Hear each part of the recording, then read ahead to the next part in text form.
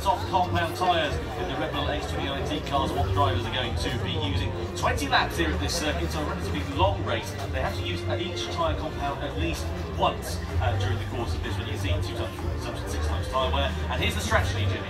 Yep, as you can see, racing soft tyres, we expect them to last for five laps. You see the difference in tyres in terms of time. The racing hard tyre being 2.4 seconds a lap slower than the racing soft tyres. So getting that right and using them at the right time is really going to be important. Certainly is. Here is a fuel strategy as well. 20 laps, of course, tank capacity of 100 litres on these Red Bull X 2019 cars. And fuel consumption rate times two. You get about 10 to 14 laps there and thereabouts with a full tank. So they will have to uh, fuel on uh, probably, uh, well, at least one occasion. Yeah, and of course we saw how important fuel was last time. Coque Lopez running out of fuel in the second time of the pits. That can make the difference. Well, Jimmy, who's your money on for this one? Uh, well, there he is. If, you, if you're a betting man. I, would say, I think it's his time. Yeah, I think it's his time. He showed such a great performance earlier on. I reckon this could be it for him. And if you want to get involved and uh, tell us your driver of the day, use the hashtag Michelin FIA GTC and you can get involved on uh, Twitter, Facebook, Instagram, whatever. USA! USA! USA!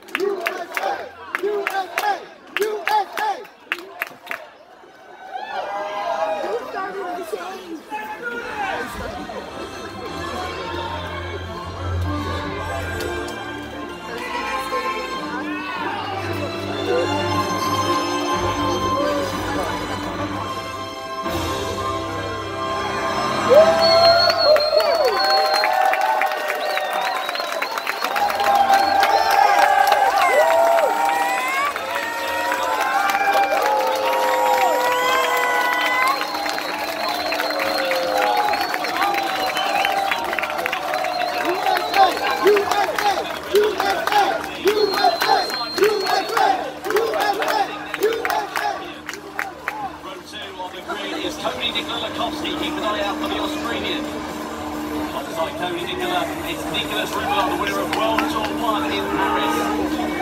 Third row the grid, Miyazono, the fast Japanese driver. Alongside Takuma, it is Rayan Derrouiche, who was so impressive in semi-final B at the Autopolis circuit. Coque Lopez lines up in seventh position. He'll be hoping for a better finishing position for him.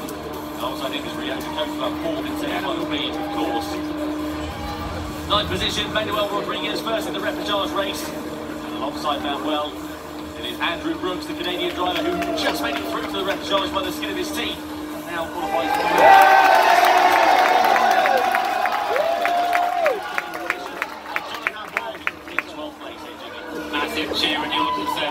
Saunders goes by, as you said, a lot of home support. And now we get our first glimpse of tyre strategies for our drivers. Gazelle opting to start on the medium tyre. Interesting decision from him. And here are the cars we're using. Extreme vehicles in the Group X cars. I think there's not much more uh, of any cars in the world that are more extreme than the Red Bull X 2019. They don't fit anywhere apart from this and, of course, prototype. So, and there is our hot pick for the race. Mick he finished first in the semi-final. He's finished second a couple of times in this event. I think now this could be the time, but he's got a hell of a job ahead of him. Certainly has. 20 laps Spa Francorchamps is not for the faint-hearted, especially when you've got strategy to consider. Here is Mika He's on the bottom left-hand sled in the uh, of your shot there. Igor Fraga alongside him, Cody Latkowski, Nicholas Rubilar, and that's, funnily enough, how they line up on the grid in the positions that they are.